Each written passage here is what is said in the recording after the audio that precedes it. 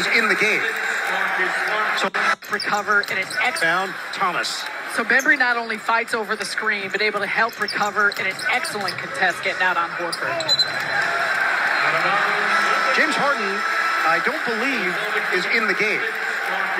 So while he's engaged from the bench, he's not eligible to catch the ball. That's my breakdown. If if I saw James Harden open, I would get him the ball too.